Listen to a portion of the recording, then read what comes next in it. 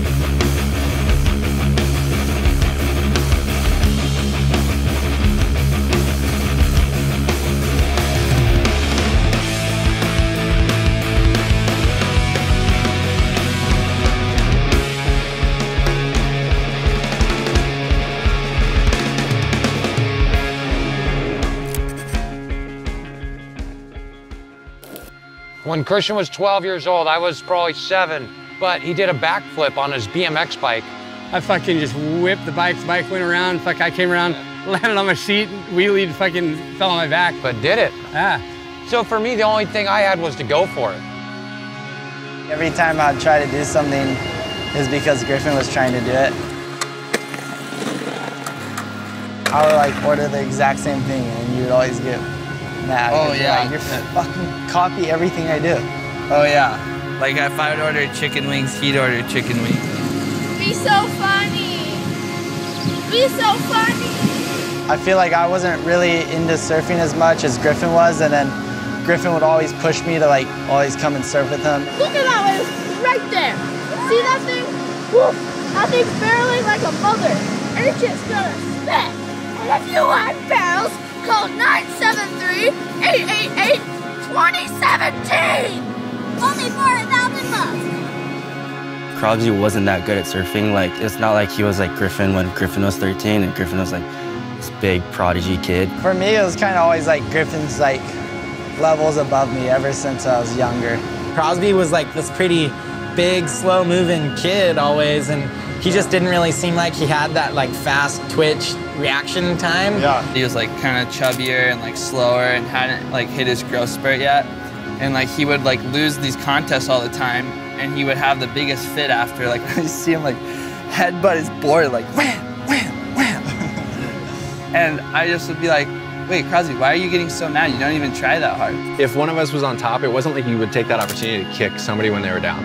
Like it was almost more about like getting whoever was on the bottom off the bottom. I've seen Griff take like a major, almost borderline coach role for Crosby. Make sure when you surf, you're actually like, you know, you're trying to work on things. You're not just going out there just to surf. Griff was like, dude, that was a bog rail. and I'm just like, whoa. And Crosby would be like, that shit to you, I'm trying to fight you.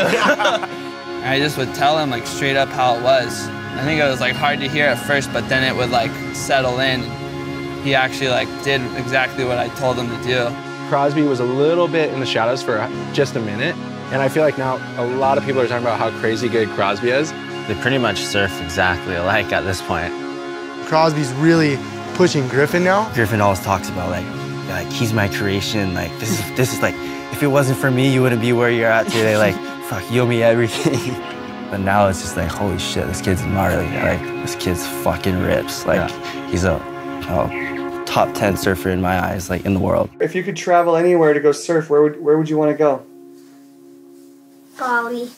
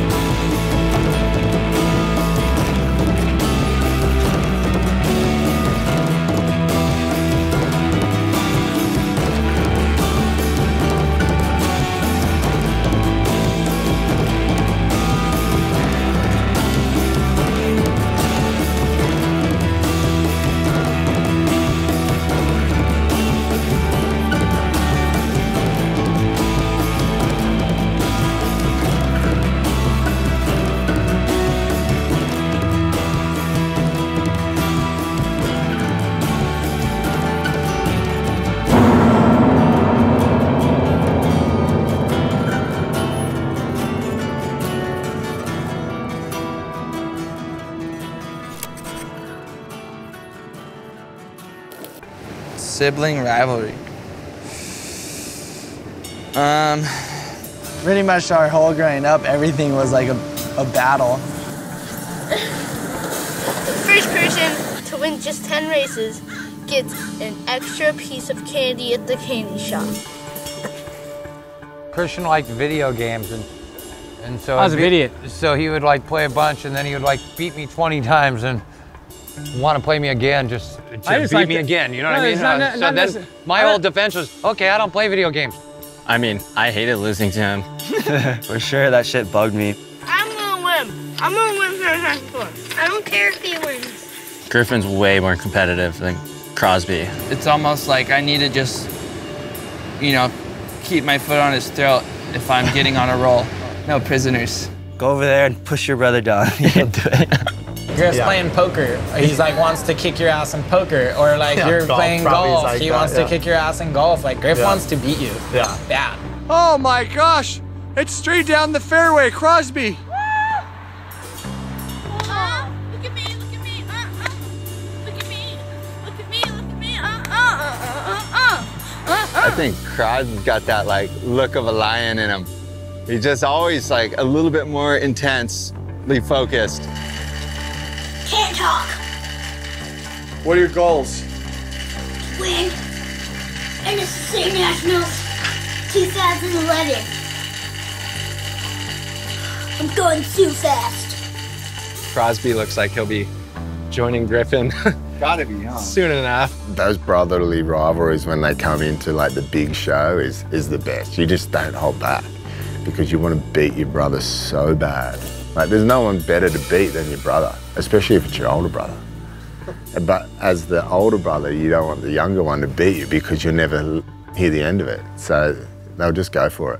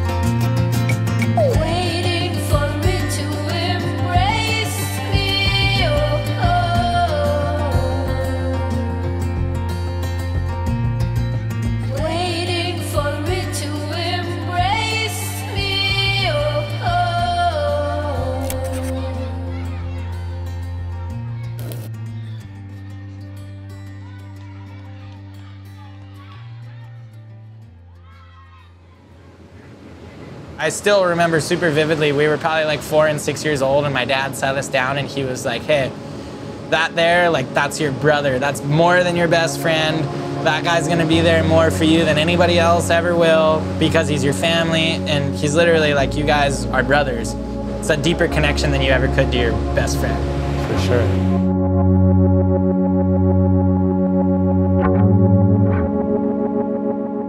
The brotherly bond's freaking beyond this world.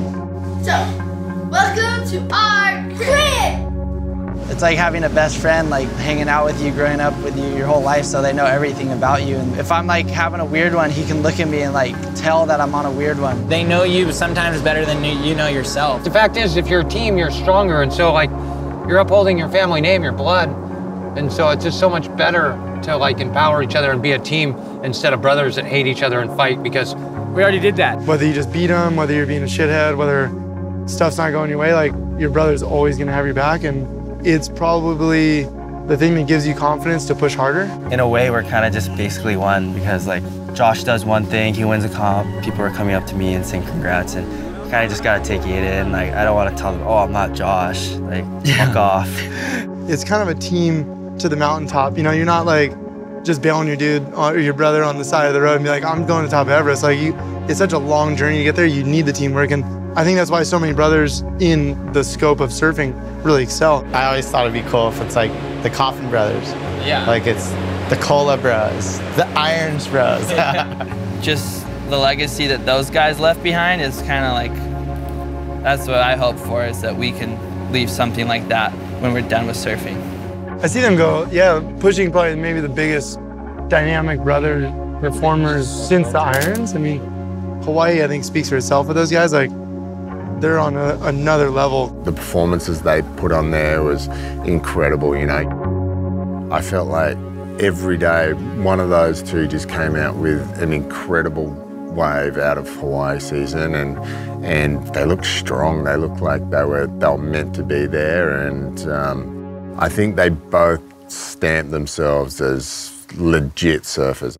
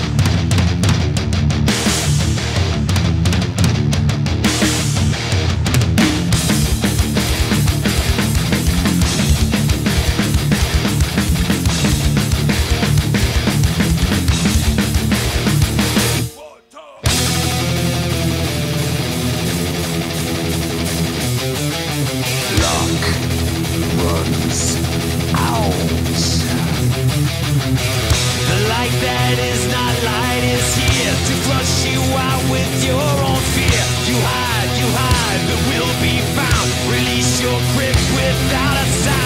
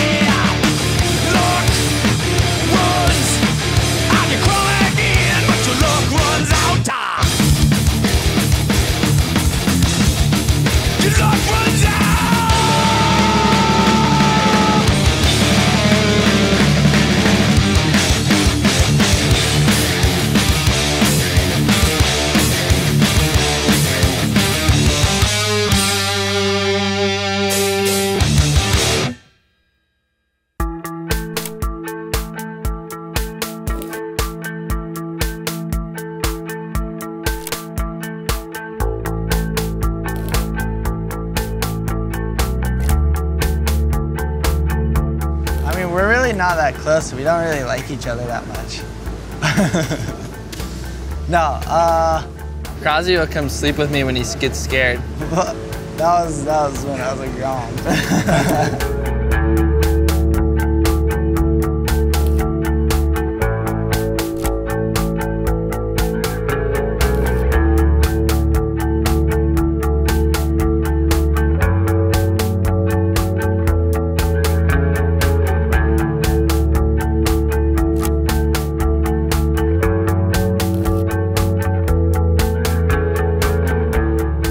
mom says there's two kinds of kids, the kinds you put in the playpen or the kind you put the playpen on top of. Supposedly they put the playpen on top of this one. So that way I couldn't get to him. Griffin will probably be on tour until he's 50 because he just loves it so much. Like, seems like he just wants to be there, like like a Kelly, like how Kelly's still doing it. He's like, yeah, that sounds like the sickest thing ever. Like, I want to be on it when I'm 50. If Griffin and Crosby want to be doing the tour in 10 years, they're probably have plenty of talent to be doing it for a pretty long time. Unless this next crop of kids that grows up surfing wave pools are just little aliens and do like backflips and all the contests are in wave pools. It's possible. I definitely But- think that in I definitely think in 10 years time there will be a couple couple wins between those two on the world tour. Yeah.